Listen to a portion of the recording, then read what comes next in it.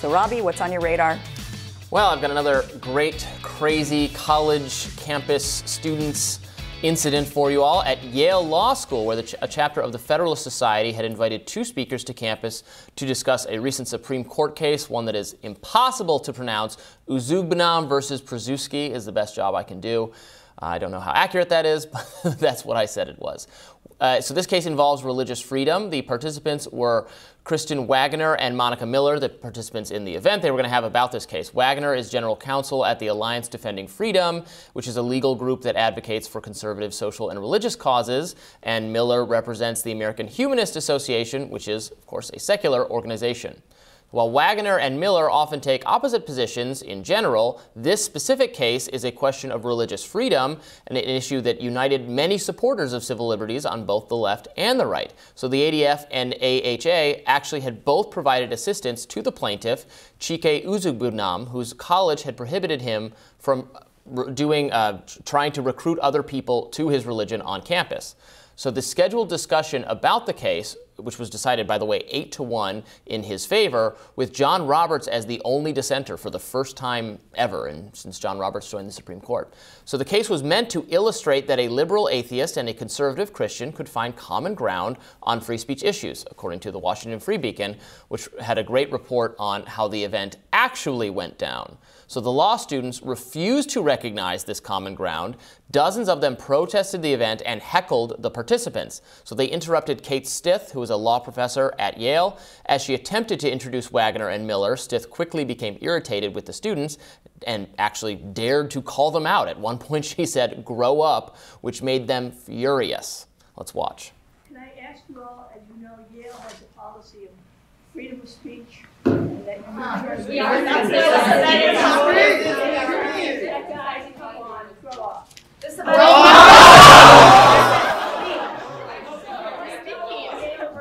We told you, Monica Miller, this is what it would be. Will those trans kids grow up? You guys, This is I free look forward to hearing This from is you free when we get to question and answer. Free speech is Why this you're allowed to speech. talk here and No, you're disrupting the free speech. We're not. You're disrupting us. Get on with This it. is not louder. Uh, I Talk. remind you, Yale is committed to protecting freedom of expression and peaceful dissent. Yep.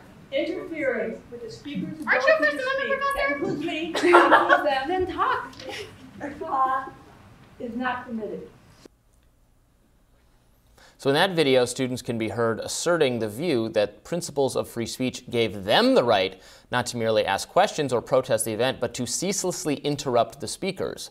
When Stith accused the students of, quote, disrupting the free speech of the speakers, the students fired back that, well, you're disrupting us. The Free Beacon has more. Quote, the protesters proceeded to exit the event. One of them yelled, FU Federalist Society on his way out, but congregated in the hall just outside, and they then began to stomp, shout, clap, sing, and pound the walls, making it difficult to hear the panel. Chants of protect trans kids and shame, shame reverted throughout the law school. It was so loud that it disrupted nearby classes, exams, faculty meetings, according to students and a professor who spoke, uh, again, with the Washington Free Beacon. At times, things seemed in danger of getting physical. The protesters were blocking the only exit, and two members of the Federalist Society said they were grabbed and jostled as they attempted to leave. It was disturbing to witness law students whipped into a mindless frenzy, Waggoner said. I did not feel it was safe to get out of the room without security. So police officers eventually arrived to escort the panelists out of the building. Their presence made the, student, the students even angrier.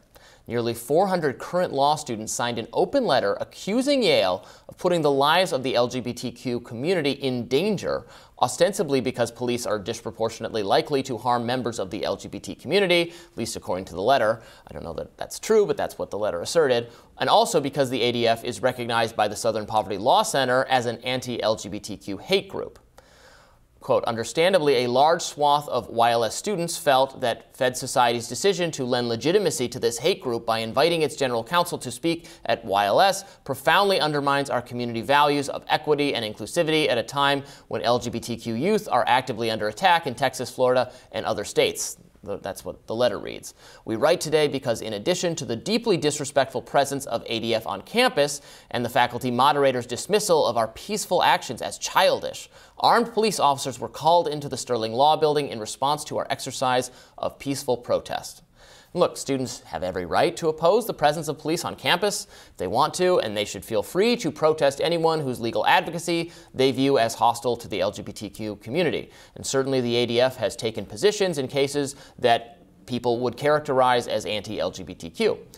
But law students should be able to grapple with these positions and debate them.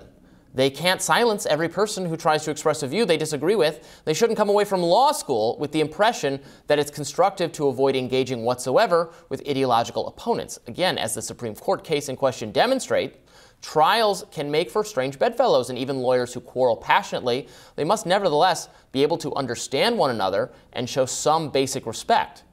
Future lawyers should have the critical thinking skills, intellectual curiosity, humility, and maturity to engage with ideas and legal principles that they may disagree with, said Waggoner in a statement to the Yale Daily News. Unfortunately, some students who attended the Federalist Society event refused to allow others to speak and acted in an aggressive and hostile manner towards me, Professor Kate Stith, and Monica Miller from the American Humanist Association. So this kerfuffle at Yale comes two weeks after a similar incident at UC Hastings that I covered in a previous radar. You can check that out if you missed it, where law students prevented Ilya Shapiro, who's a libertarian conservative legal expert, from debating Rory Little, who was a UC Hastings law professor and a progressive thinker. So they were going to have a debate, and they couldn't have it because, again, law students shouted them down. The next generation of attorneys, judges, and justices are not acquitting themselves very well lately. It's difficult not to sympathize with Stith's frustration that and when she just declared this, I think she spoke for a lot of people that perhaps they just need to grow up. Yeah, it's really, really uh, scary to think because these are Yale law students. Yeah, these are important students. When it's just the when it's just the uh, the uh, LA you know graduate students who are going to be unemployed anyway. But the, these people actually have important jobs to do. Well, right. These are the people where they do actually grab the justices from. I mean, these are Yeah. the these are the future judges of America, and that is what is the most concerning about this. Is and, and I've mentioned this before. You know, my fear is that as justices get replaced on the courts um, they're, they're picking from people that have an ideology that is very much you, you can only believe what I think you should believe and you can only say what I think is right, then that will maybe fundamentally change how free speech, you know, the First Amendment is actually interpreted. And that to me is very scary. And, and well before that happens, what about when these people are hired into law firms and they, you know you start having collegial or d- debates or disagreements or different takes on issues, and or they start saying, "Ex- no, you can't.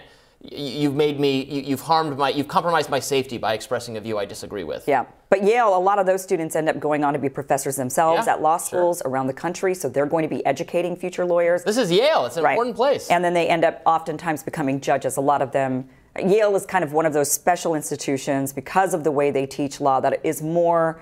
Uh, it- they don't. A lot of times, the lawyers don't actually go into practicing law. They go into interpreting law and teaching law, more philosophical from Yale, and that's that philosophy I don't agree with. No. And I don't really understand how they think they're going to accomplish whatever they're trying to accomplish by doing that. Like, who's that? Who's that winning over? Or do they already feel like they've won, and so they just need to suppress any? When, When what, I- what was the is- this? What, what was the issue again? Like, what were they there, debating? there, there was just going to be a, a discussion by two legal minds, two lawyers, about the Supreme Court case, which was a religious freedom case that was decided 8 one where actually the both the liberals and the uh, liberal group and conservative group agreed and had worked together on the case. So it was supposed to be like, look how people who disagree on a lot of issues can collaborate in sometimes in the legal profession. And the justices not allowed. also agreed, right? I- I mean, to eight to one. yeah, it was eight to one. Yeah. Right, so- lone dissent from John Roberts. What, what did he? Why did he dissent? Uh, so he said, so the, the case, it's a bit technical, but the, the case was, so this guy was recru- uh, trying to recruit people to his religion on his the campus, and the campus said this was like a violation of religious, this was violating religious freedom. He said, no, wait, this is my religious freedom, I get to do this. But he didn't file suit until a, a long time later. So John Roberts said that it was like past, it was too outside the, or he couldn't show enough harm, Yeah. and it's too, it's too long. And if we we re-examine this issue, it just opens us up to tons of like frivolous Right. yeah. Roberts always does that. Whenever he dissents, it's usually because of a technicality of some it was kind. a technicality. okay. But uh, so anyway, it's uh, but when I but anyway, when I talk to students like this, I tend to hear them. They're not thinking of it in tactical terms because yeah, right. This looks bad. We're all making fun of them now. Uh, a wide swath of humans are making fun of them, but their view is that it is what they're doing is necessary for the defense and protection of marginalized people in the community. Right. That's But- their view. If if it's tactically stupid, it actually undermines those marginalized people. Yeah. But they, but they think people literally die because that, that woman, Wagner. Which would be a good reason to take your tactics more seriously Yeah. if it's life and death. It's, uh, it's crazy stuff. Whatever. But coming up, uh, New York State Assemblyman Ron Kim will join us to discuss updates on the Cuomo brothers. Stick around for that.